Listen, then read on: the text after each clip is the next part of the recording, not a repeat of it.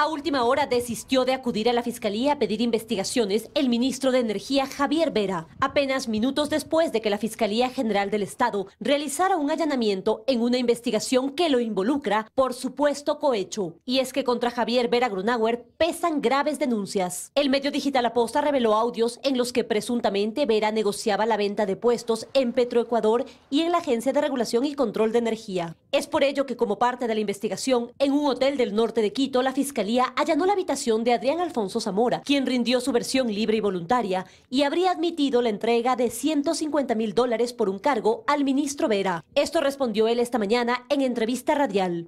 Tengo entendido que es el que sale en el audio o supuestamente en el audio. Tiene un proceso de falsificación de firmas. Dice el señor Boscán que yo he mandado a que, a que se pague para que no le malden. Yo necesito eso ahí.